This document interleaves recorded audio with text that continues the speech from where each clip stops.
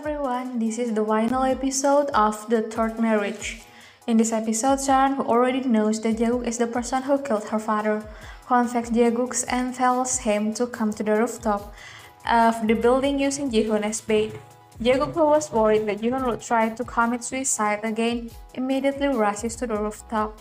After meeting Sharon on the rooftop, they get into an argument and Sharon tries to hurt Jaeguk but fails.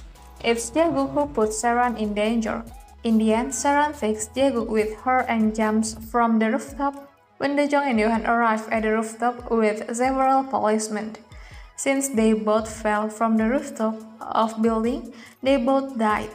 The strangest thing in the scene is that everyone looks sad about Sharon's death. Even Dajong looks sad to see Sharon die in vain. Jihoon is sentenced to 3 years in prison and 4 years of probation. Sangjol is sentenced to 1 year in prison and 3 years of probation. Aja is also in prison and she seems to have gone crazy since Sharon's death. At the end of this episode, Dajong and Yohan finally get married. Okay everyone, that's the end of this drama. Thank you for watching my video and see you in the next drama review.